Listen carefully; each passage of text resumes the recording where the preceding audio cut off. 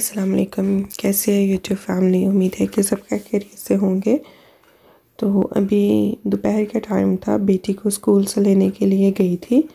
तो जब वापसी पे आ जा रही थी तो मैंने देखा कि आसमान बहुत ज़्यादा जो है, वो बादलों से भरा हुआ है और बहुत ज़्यादा जो है उसका रंग चेंज हो रहा है। तो मैंने कहा कि थोड़ी सी वीडियो बना लूँ और आप लोगों के साथ भी शेयर करूँ। आप देख सकते हैं। कि आसमान का रंग जो है वो कितना बदला हुआ है। इतने बादल हैं, इतने ज़्यादा। और ये दोपहर का टाइम है और दोपहर के टाइम में इस तरह लग रहा था कि जैसे ये पता नहीं कितनी गहरी शाम हो रही है और हर तरफ़ बादल ही बादल हुए हुए थे। और बादल भी इतने ज़्यादा गहरे रंग के थे, बिल्कुल काले हुए हुए थे। और मैं अभी ये देख ही रही थी और सोच ही रही थी और कुछ टाइम बाद इतनी ज़ोरदार किस्म की बारिश शुरू हो गई थी। लेकिन ये आप देख लें कितने खूबसूरत लग रहे हैं बादल। बहुत खूबसूरत लग रहे थे और बहुत इस तरह लग रहा था कि जैसे हाथ बढ़ाएँगे और हम इनको पकड़ लेंगे। बहुत ज़्यादा क्लोज़ लग रहे थे, बहुत अपने नज़दीक लग रहे थे। तो बस ये अल्लाह की खूबसूरती है। और माशाल्लाह ये मुल्क बहुत खूबसूरत है। लेकिन जो है अल्लाह ताला ने दुनिया बहुत खूबसूरत बनाई है और ये भी एक खूबसूरत दुनिया का हिस्सा है। माशाल्लाह अल्लाह की खूबसूरती है देख के माशाल्लाह कहना चाहिए। और अभी मैं बनाने लगी थी बनौफ़ी पाई। ये इंग्लिश डिज़र्ट है और ये जो है ये डाइजेस्टिव मैंने बिस्किट लिए हैं। ये तकरीबन हाफ़ से थोड़ा सा ज़्यादा पैकेट लिए हैं और लेने के बाद मैंने इसको आ, एक सी थ्रू बैग में जो है ज़िप ज़िप लॉक बैग जो है उसमें मैंने डाल दिए अच्छा अब मैं यहाँ पे चाहती तो मैं चॉपर में डालकर इसको मैं चॉप कर सकती थी, लेकिन मैंने ये इसको इसलिए नहीं किया क्योंकि बहुत सारे जो लोग हैं जिनके पास अगर चॉपर नहीं है तो फिर यूज़ किस तरह करना है इसको? तो आप इसको किसी भी बैग में, कोई भी जिप लॉक बैग और कोई भी बैग जो है उसमें इस तरह डालकर तो आप कोई भी हैमर ले लें या फिर कुछ भी जो चीज़ रोटी पका, बनाने वाला बेलन जो है वो लेके तो बस इसको हमने इतना अच्छे तरीके से करना है कि बिस्किट जो है इनका अच्छा सा पाउडर बन जाए। और ये मैंने तकरीबन पाँच से छः स्पून जो है मैंने बटर मेल्ट किया है। इसको मैंने ज़्यादा गरम नहीं किया, लेकिन इसको बस मैंने थोड़ा सा जो है अच्छे तरीके से लिक्विड ही कर लिया और ये मैंने अपना जो मेरे बिस्किट्स का बिस्किट्स जो मैंने, जिनको मैंने मैश किया था, उसके अंदर मैंने तकरीबन शामिल, सारा तकरीबन शामिल किया था। थोड़ा सा मैंने छोड़ा था। सिर्फ़ अपनी जो ट्रे है उसको थोड़ा सा ग्रीस करने के लिए। तो ये मैं इसको करने के बाद, उसके बाद फिर मैं ज़िप लॉक लगाने के बाद मैंने इसको अच्छे तरीके से इसको मैंने मिक्स किया था कि बटर और जो बिस्किट है, जो उसके बिस्किट के क्रम्स हैं, वो अच्छे तरीके से मिक्स हो जाए और बटर जो है वो अच्छे तरीके से कोट हो जाए बिस्किट्स के ऊपर। और ये इसको करने के बाद तो मैं इसको अच्छे तरीके से इसके लेयर कर दूँगी ट्रे पे। बस इसको अगर हाथों के साथ भी करें और स्पून के साथ भी तो बहुत इक्वली और प्रॉपरली इसको अच्छे तरीके से दबाने के बाद हमने इसकी लेयरिंग करनी है। और बटर डालने से जितना अच्छा ये देखें, जैसे आप देख सकते हैं कि बिस्किट जो हैं, बिल्कुल उनमें बटर जो है वो कोट हुआ हुआ है। लेकिन अगर यही बटर थोड़ा होगा तो बिस्किट ड्राई ड्राई लगेंगे। तो वो इतने अच्छे तरीके से जुड़ेंगे नहीं। इसलिए बटर जो है वो इंपॉर्टेंट है, वो डालना और उसके बाद उसको अच्छे तरीके से बिस्किटों के साथ मिक्स करना और उसके क्रम्स में जब बटर लग जाएगा तो उसके बाद ऐसे ये देखें, इसके किनारे और इस तरह सारा मैंने किया है तो ये बिल्कुल अच्छे तरीके से ट्रे के साथ अच्छा सा सेट हो गया। तो बस ये अब मेरा, मैंने इसको सेट करने के बाद इसको मैंने आग फ्रिज में रखूँगी। जितनी देर में मैं इसका बाकी प्रोसेस करूँगी, क्योंकि मैंने इसको सेट करना था तो मैंने इसको फिर, मेरे पास टाइम कम था तो मैंने इसको फिर फ्रीज़र में रख दिया था तकरीबन फाइव मिनट के लिए। जितनी देर में अपना सेकंड प्रोसेस कर रही थी, उतनी देर में मैंने वो फ्रीज़र में रख दिया था। तो ये मैंने केले जो हैं, ये तकरीबन तीन केले जो थे, उनको मैंने कट किया और कट करने के बाद उसमें मैंने लेमन जूस लगा दिया। लेमन जूस लगाने से ये होता है कि केले जो हैं वो काले नहीं होते हैं, ज़्यादा अरसे तक के लिए चल जाते हैं। तकरीबन जैसे मैंने अगर ये डिज़र्ट रात रात को बना रही हूँ तो अगर अगले सुबह ये लगाना है और वो वाला दिन जो है तो ये डिज़र्ट जो है वो बहुत अच्छे तरीके से पड़ा रहेगा और ये ख़राब नहीं होगा, ना इसका रंग कलर चेंज होगा। तो इसको थोड़ा सा लेमन जूस लगा दिया था और मैं अब इसको अच्छे तरीके से जो है, वो तकरीबन सारे जो पाई है उसके ऊपर लगा देना। और लगाने के बाद। ये मेरे पास कैरमल है। ये मैंने रेडी टू यूज़ कैरमल ली है। अगर आप चाहें तो बना भी सकते हैं बटर और शुगर को मेल्ट करके और क्रीम डालकर।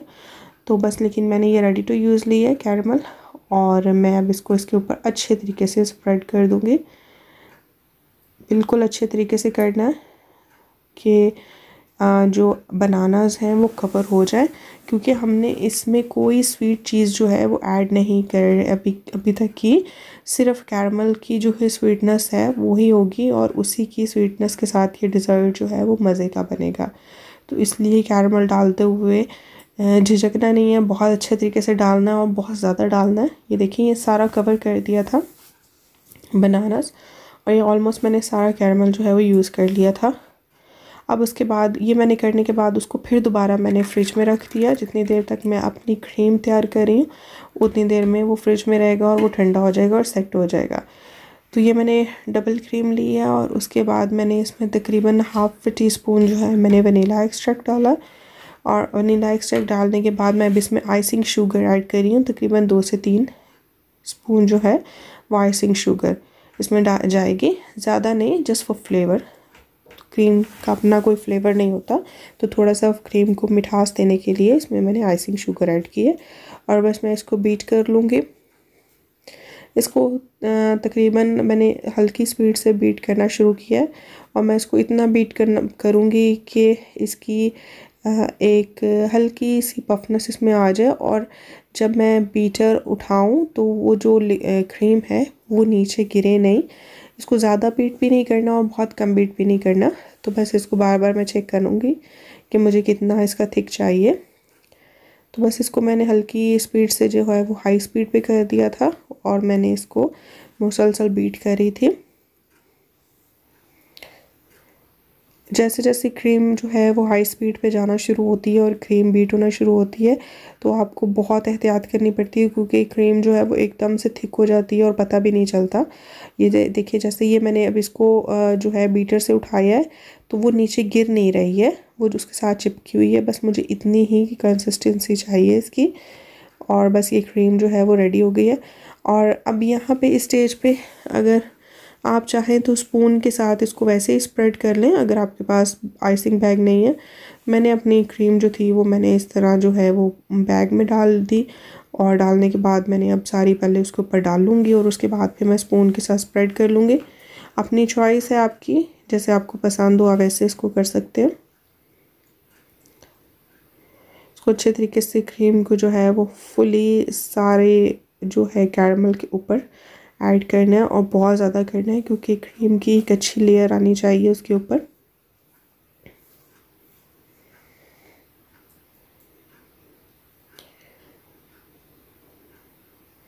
इसको अच्छे तरीके से जो है ऑल एवरीवेयर जो है मैंने इसको आइस इस बैग में डाला है। इसके रीज़न एक ये भी थी कि ताकि मेरे जो किनारे हैं, वो प्रॉपरली जो है, वो इक्वली उस पर क्रीम जो है वो लग जाए।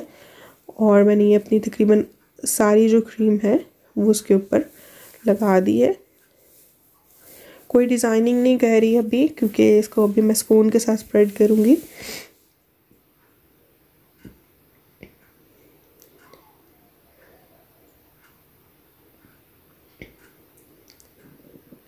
इसको मैंने, इसको स्पून के साथ अगर लगाती तो वो जो कैरमल था, वो भी निकल जाना था सारा।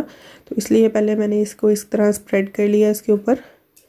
और अब मैं इसको जो है प्रॉपरली इसको इक्वली डिस्ट्रीब्यूट कर दूँगी।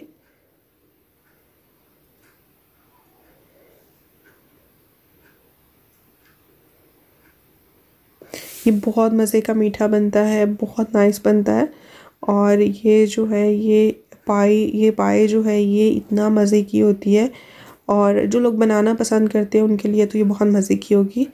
और ये ज़रूर आप लोग ट्राई कीजिएगा, आप लोग को बहुत पसंद आएगी।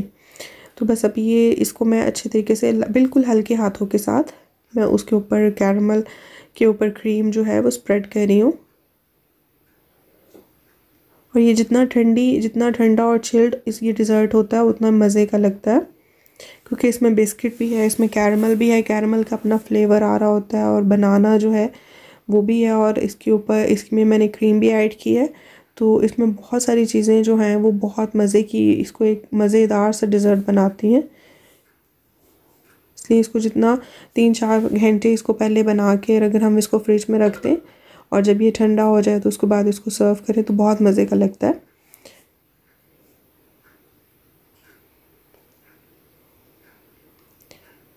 इसको अच्छे तरीके से जब ये स्प्रेड हो गया तो उसके बाद मैंने कोई भी चॉकलेट लेके, अगर आपके पास कोई भी चॉकलेट बार है, कोई सी भी हो सकती है तो मैंने वो लेके उसको मैंने कद्दूकश कर लिया था। ग्रेटर के साथ उसको जब मैंने ग्रेट किया तो बस ग्रेट करने के बाद मैंने उसके ऊपर और सारे जो है, वो स्प्रेड कर दी। करने के बाद एक अपनी डेकोरेशन का वे आपको जो जो भी अच्छा लगता है, जितनी चॉकलेट आप डालना चाहते हैं, आप डाल सकते हैं।